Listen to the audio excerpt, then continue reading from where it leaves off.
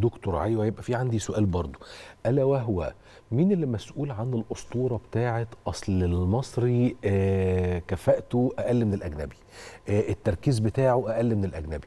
أنا بسمع الجملة دي لو أنا داخل الصيدلية بيتقال لي كده. طب ما تاخد المستورد أحسن. بيتقال لي كده من بعض الناس. مش هقول كل الناس بس بيتقال لي كده من بعض الناس. ده واحد. اتنين زي ما كان أيضا بي- بيتكلم دكتور علي مرة تانية على مسألة ما فيش حاجة اسمها كده يا جماعة. طيب ومن ناحية أخرى أنا ليه الروشتة ما بتتكتبش بالاسم العلمي؟ ليه بتتكتب بالاسم التجاري؟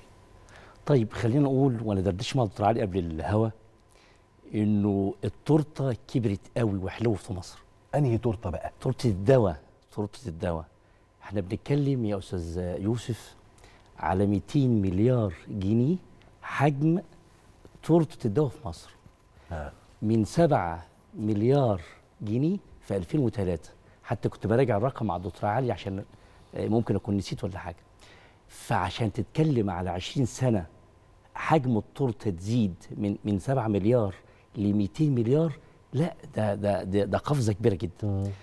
ال ال هذه التورته خلت فتحت عيون ناس كتير عليها. شركات آه، عالمية استثمار استثمارات محلية وبالتالي المنافسة زادت.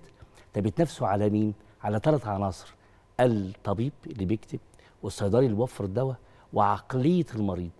وبالتالي هنا الدواء البارستامول اللي بيتكلم عليه الدكتور علي اللي ما عند الدواء ده أصلا عمره كام سنة في مصر؟ 10 سنين 15 سنة 20 سنة؟ طيب إحنا عندنا بارستامول من من شركة النصر اللي في الستينات.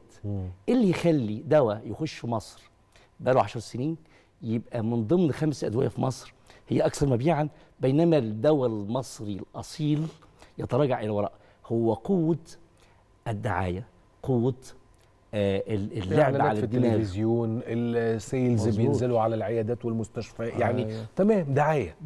دعاية. دعاية.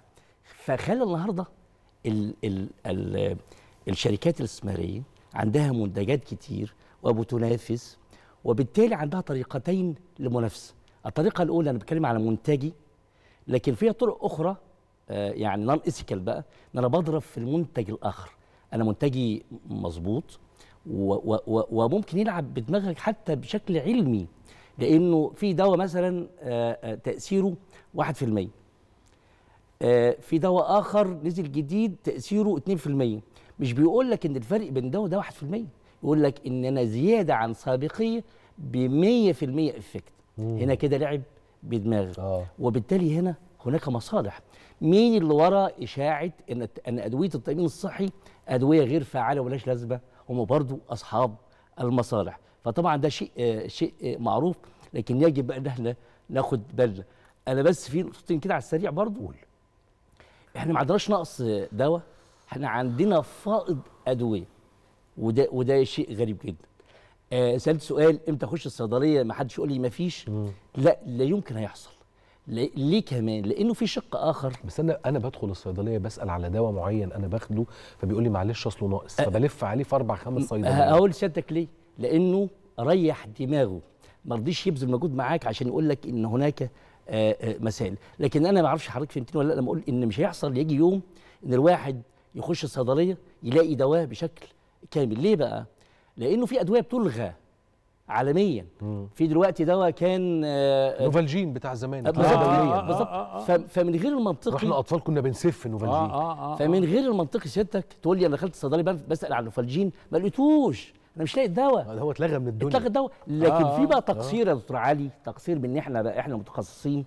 لو أنا مش متابع إن ال ال النوفالجين بيعمل كذا وإن المفروض ما اكتبوش هكتبه.